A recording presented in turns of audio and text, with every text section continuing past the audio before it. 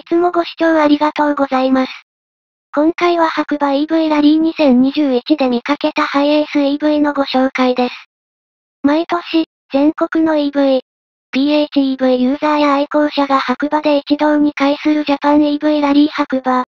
昨年 EV ジムニーで参加した様子は、過去の動画で紹介しましたが、今年はハイエースのコンバート EV で参加された方がいらっしゃいました。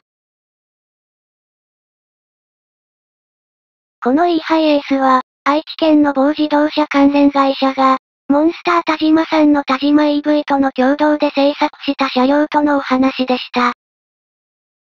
車デモの急速充電器も使えるとのことで、愛知県からラリーゴールの白馬村まで普通に自走してのラリーご参加でした。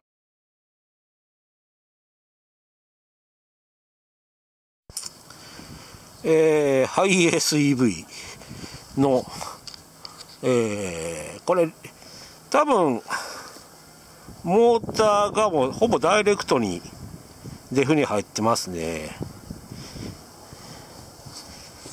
で、前がほぼほぼ全部バッテリーケースで、もうデフの直前に横置きでモーター積んでるんで、リングギアにピニオンじゃなくてリングギアに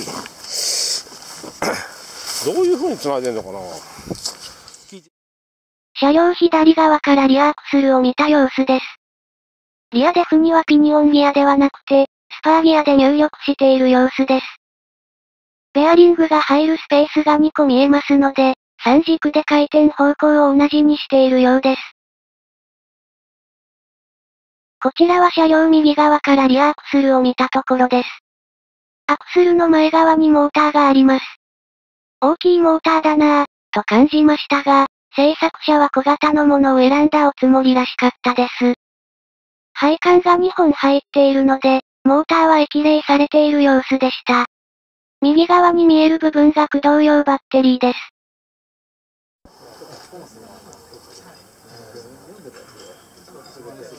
デフに横横置きモーターで、えー、ホーシングに直接ついてます。うん？あれモーターは？社会側にああっちがホースだけやな。この辺に三層線やなんかうじゃうじゃと来てますね。だから三軸で同じ方向に回るようにしてるってことだよね。ここがベアリングが入ってる膨らみが見えますが。ダナってましたね。このリアークスルを作っているのは、リジットサスの黒缶4区マニアには、カスタム用ホーシングの製作メーカーとしておなじみのアメリカのダナだという話です。少し調べてみたところ、ダナはイアクスルの販売をやっていて、公式サイトには商用車向けの製品もありました。あ、ほんまや。あの、ハイスあの、ショートフードがあるのであれジムにコンバートして乗ってるんですよこれ田島さんとこのお車なんですか田島と一緒に作りますああそうなんですかへえあここなんやでもこれ車あの車体が長いから寄せる時にあのほほねケーブルが届かない場合があるでしょ。僕のジムニーは横なんですよね。それそれでもあるんで。マスに収まりきらないそうマスからはみ出るとかマスに収めようと思ったらあのケーブルが届かないでガンが刺さらんとか。あと普通は横にあのああの1772ね。1772は横なんですね。あなるほどなるほど。はいですよ1772はここで入るんですよねこの寸法でそうそう茶でもギリギリ入らないですでもあのアイミーブは絶対あれいっぱいいっぱいですよ元えーこれシュールだなハイエースに日産の充電器をそうやね。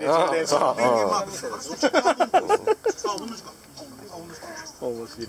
でもちゃんとねバッテリーも床も上がってないし。そうです、うん、ねああそうなんですか。綺麗綺麗。うん。普通普通普通って感じですよね。ほんまに普通って感じですよね。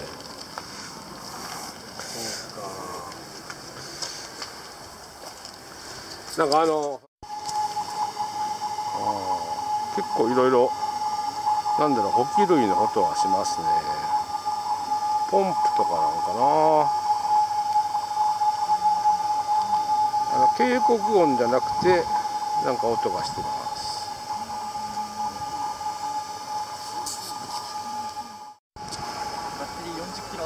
ああぐらいあの大きさですからね。積んでる。でしょうね。380何ボルトって言ったから